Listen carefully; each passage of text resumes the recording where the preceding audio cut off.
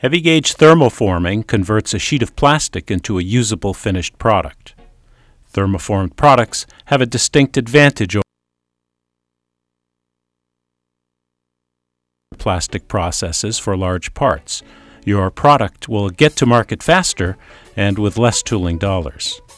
With thermoforming, you can produce tote trays, handling trays, protectors, and covers up to 15 feet long and 5 feet in width. Pressure forming is well suited to produce fine detail. Twin sheet forming can create hollow parts. Plastic fabrication can quickly create highly engineered, simply shaped products, each with minimal tooling investment.